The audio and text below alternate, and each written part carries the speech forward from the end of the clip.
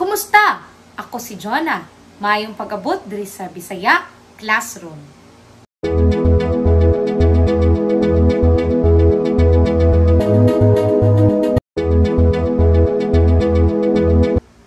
Today, we will be learning about Bisaya pronouns. And in terms of Bisaya pronouns, we will be learning two things.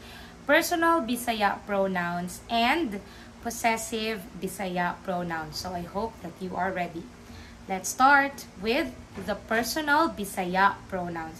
By the way, if you don't know what a pronoun is, a pronoun is a word that substitutes a noun. Okay, so here are the personal Bisaya pronouns that we will be learning today. First is I or me. In Bisaya, that's ako or ko. I have also mentioned it on my previous videos that when ako appears in the beginning of the sentence, it will be ako. But when it appears in the middle or at the end of the sentence, it will be ko. Next would be you, singular ikaw or ka. Again, ikaw if it's in the beginning of the sentence and ka if it's in the middle or at the end of the sentence. Next, he, she, or it. That's siya or siya. We or us, that's kami or me. Kami if it's in the beginning and me will be if it appears in the middle or at the end of the sentence. The same um, process for I, me, and you. Usually in the Bisaya language, the pronoun, if it appears in the middle or at the end of the sentence, it shortens or it changes its form into a shorter one. Next, we have we or us. That's kita or ta. Now, you might be confused what's the difference between these two. Okay, so we and us, that's kami or me, and kita or ta, the difference is when we use kami or me, it will not include you as the speak, uh, as the listener. So when I say kami or me, I'm only talking about ourselves. You're not included. But when I say kita or ta, meaning you are included. Us and you. Kita.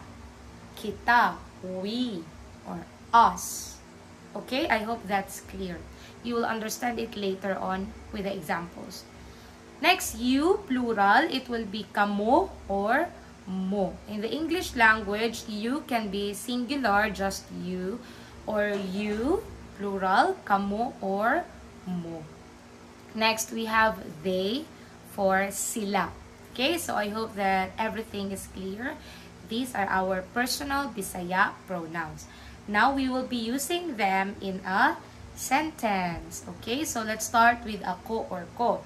So in our sentences, we will be using only one verb, one action word. Okay, that will be kanta, meaning sing.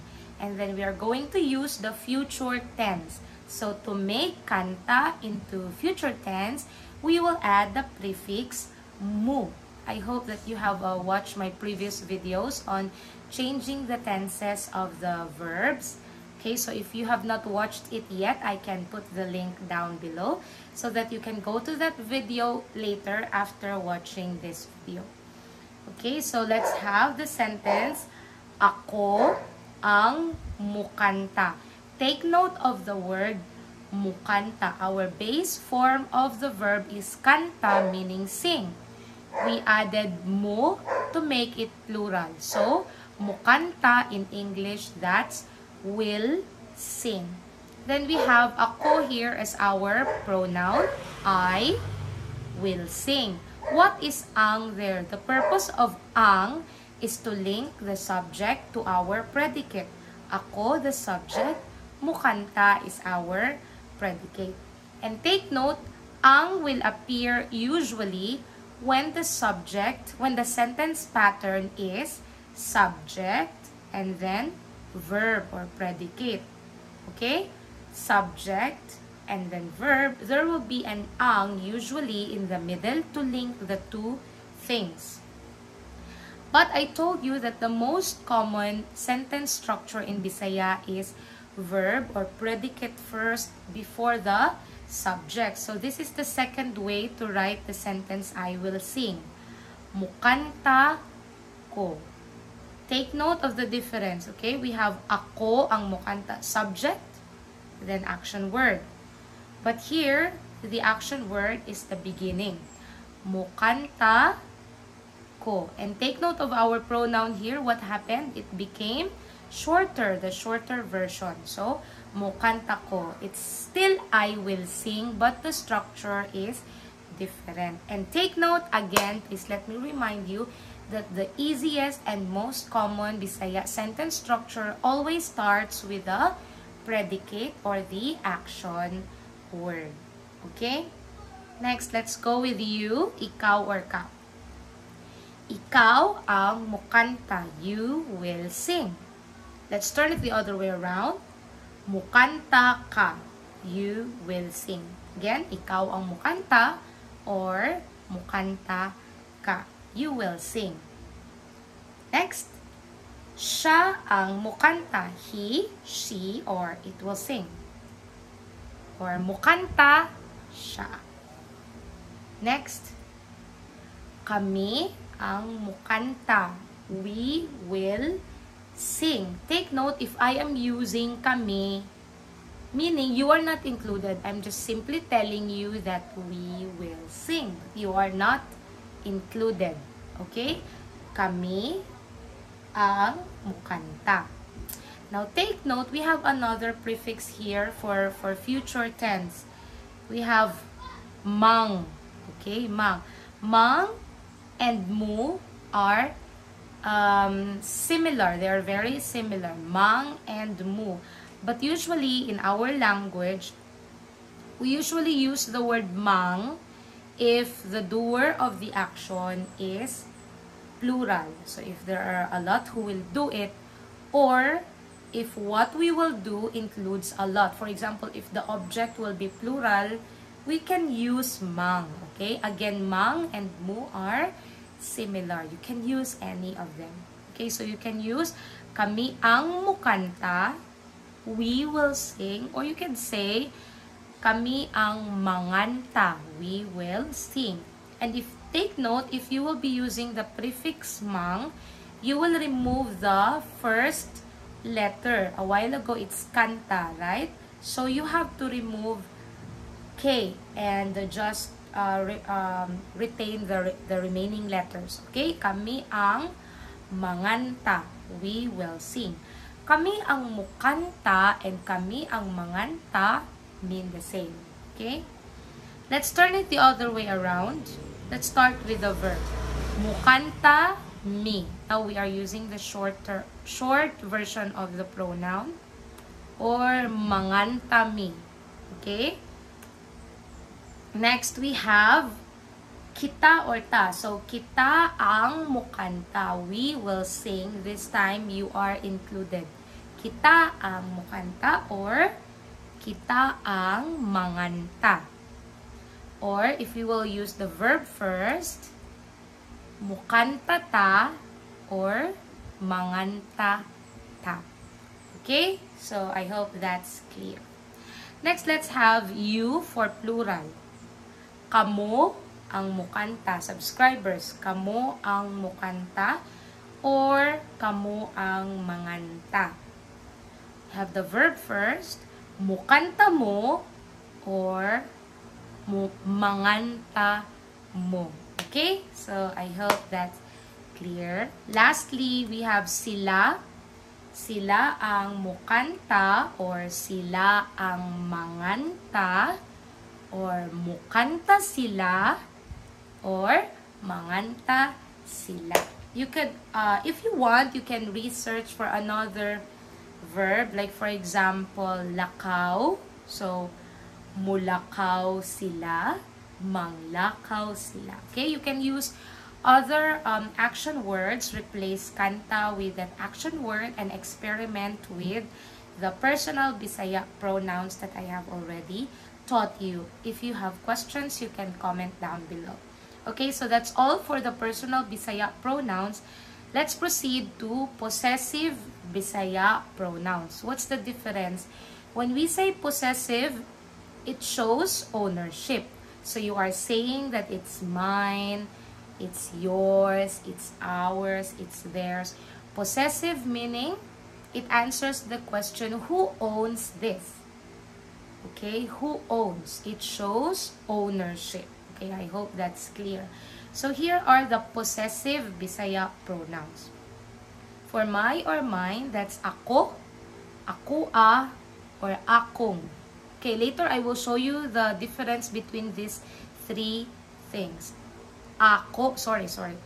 Ako, when you pronounce this ako, the stress will be on the first syllable. It's ako.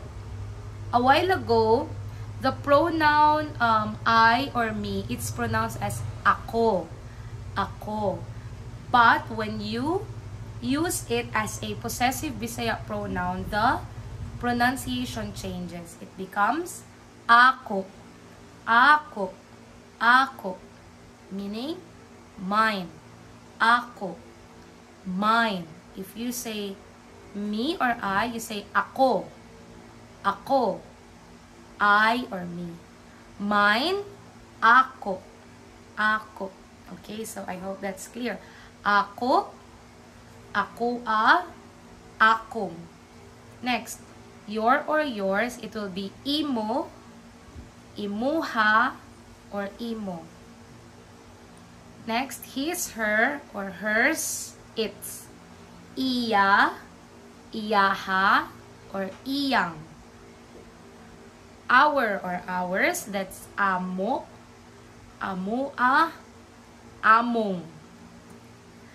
Our or ours, that would be ato, atua, atom. So, just um, what I have taught you a while ago, there is a difference with our and ours.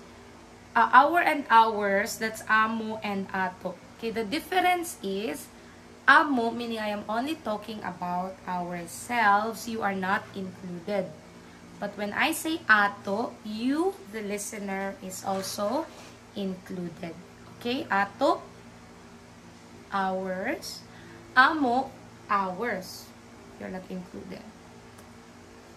Your or yours for plural, that's inyo, inyuha, inyong. Okay? their or theirs, that's ila, ilaha, or ilang. Okay? So, I hope everything is clear. If you want to take a screenshot, you can. Or if you want to write it in your Bisaya journal, Bisaya classroom journal, by the way, thank you for those who purchased the Bisaya classroom journal. Thank you very much. If you want to put it in your Bisaya classroom journal, you can. Can uh, the video. Okay, so let's start discussing ako, akua, or akong. The difference is, ako and akua mean the same. Okay? Ako and akua, they mean the same. The word akong here is just a contraction. Okay? Ako nga. So, um, if you're going to use these pronouns in a sentence, usually it follows nga. Okay, nga. Nga is, uh, is a word that you put before the thing, before the object that you own. Okay?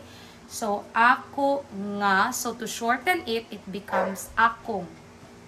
Ako ang nga. To shorten it, it will become ako ang. Ako ang. So, again, ako and ako a, they mean the same. I think it, it just matters with uh, the I don't know, it depends on the place. But in uh, in in Davao City, we usually use ako or akua interchangeably. Okay, so I just introduced akua there for you not to be confused whenever you hear the word akua in Bisaya conversation. So you might ask, what's akua? But actually, ako and akua mean the same. And when you use it in a sentence, you contract it with the with the word nga you just add ng. Later, you will understand. Okay, let's use it in a sentence. So, our noun here in our sentence, we will use balay. Balay means house. So, our sentence would be, this is my house. How will how will we translate it in Bisaya? So, we say ako ni nga balay. So, I told you the word nga there, okay, it appears between the possessive pronoun ako, nga, balay. Okay? What's ni here? Ni is this. In English, ni is this. So, this is my house. This is my ako balay house. Okay. This is my house. That's ako ni nga balay. Another sentence. Ako ni nga balay. Take note. I told you already, ako and akoa mean the same. It's up to you what you want to use. Um, actually, akoa is longer, so whatever you want to use. Okay, next, number three. To say this is my house, you could say, kini ang akong balay. So, if you want to, um, yeah, the word kini there is ni. Ni, uh, it becomes ni here because it's in the middle of the sentence. Just like what I told you on other pronouns, ni there, the full form of ni is kini. This, kini. But since it appears in the middle, it's shortened to kini. But this time, the word kini, this, appears in the beginning of the sentence. That's why we use the full form. Kini ang akong balay. Akong is a contraction of ako nga. So, kini ang ako nga balay. The correct um, way, the, the formal way to say it is, kini ang ako nga balay. But to shorten it, we could say, kini ang akong balay. Or you could say, kini ang ako ang balay. This is my house. Sometimes, Bisaya um, people do not um, say the complete sentence. Sometimes we just say the phrase and we will be understood. Like, for example, my house. So we say, akong balay. My house, akong balay. Or you could say, ako ang balay. Okay? Next, to say this is mine, for example, you are pointing to your house and you are saying, this is mine, you could say, ako ni. Or you could say, ako ani. Or you could say, yeah, ako ni or ako ani. You could use this sentence on anything. Like, for example, your bag. So, you could say, ako ni, my bag. Ako ani, my bag. Okay? So, it will be the same on the next pronoun. Imo, imuha, and imo. Imo and imuha mean the same. And imo nga becomes imong. Okay? So, I hope that you get the difference between imong versus imo and imuha. Imong is a contraction. So, we'll have the same sentence, but this time, this is your house. Imo ni, imo ni nga balay. This is your house. Or imuha ni nga balay. Or kini ang imong balay. Phrase, your house. Imong balay or imuhang balay. This is yours. Imo ni. Okay, so it's the same with the previous one.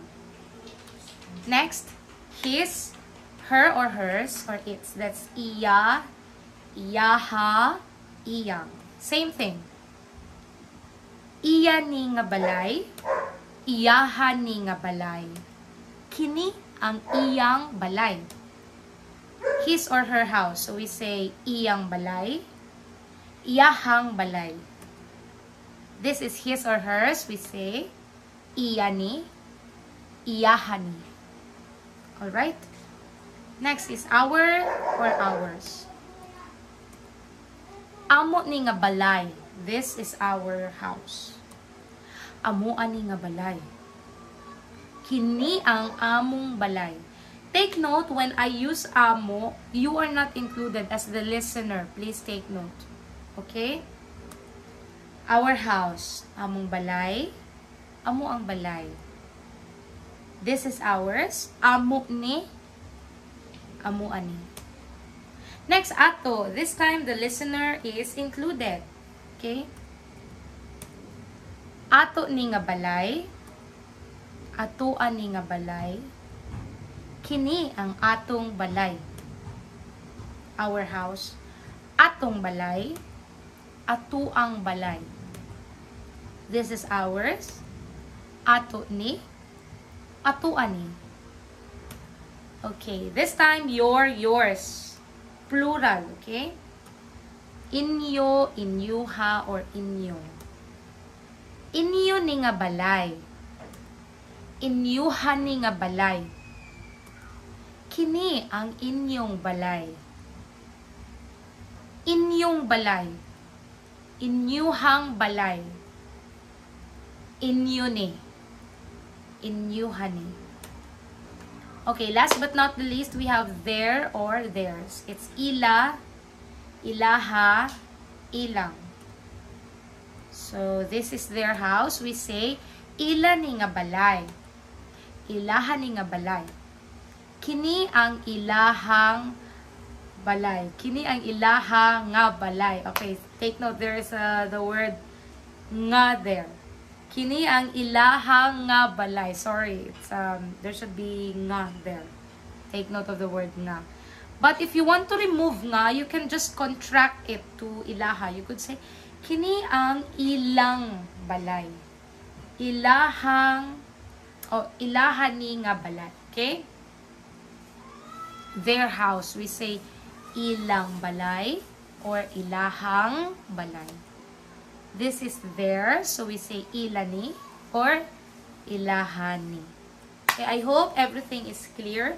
We are going to have a self-test. So, in this part of the our video, uh, there will be questions and you're going to fill in the correct, yeah, fill, choose the correct pronoun to complete the sentences or phrases. So if you are, uh, if you forgot some details, you can go back to the video, okay, before you answer the self-test. We have four questions in the self-test. So if you are ready, you can answer, okay? Their house. So this time it's a phrase. It's not a sentence. Okay? Translate this phrase. Their house.